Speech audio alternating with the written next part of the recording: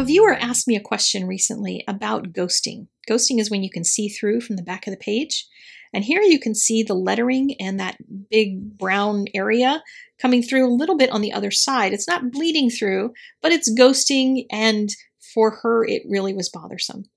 So I thought I will show you what I would do in that case. Generally, I wait until I'm going to journal that page, but you could do this even if you're not going to journal that page at this moment.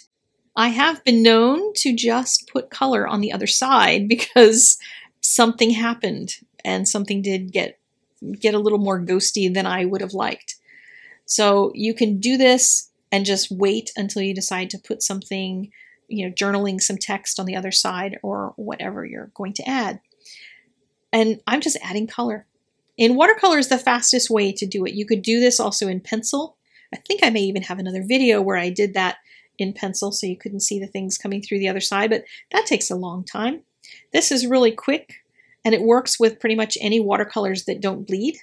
And yes, there are a few watercolors that bleed. I'm not going to go through the whole list of what they all are, but test them out on one of the back pages in your Bible, or you could test them in the workbook that I have written, the Bible Journaling Made Simple workbook, because that's on Bible paper and you can usually count on that. If it's if it works in that, it's usually going to work on your Bible page. So right now it may look like a hot mess and when it's wet you can still see even more through to the other side but as soon as it's dry and then you iron it, look at that.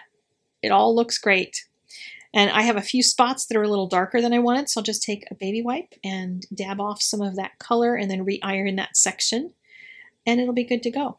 And I could wait and journal something later here or what I chose to do was to journal the verse, one of the verses that's on that page. If we walk in the light as he is in the light, we have fellowship with one another, and the blood of Jesus purifies us from all sin. I did skip a few words in there because I ran out of room. So there you go.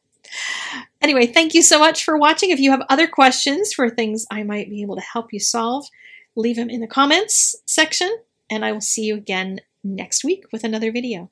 Thanks so much, and God bless you. Bye bye.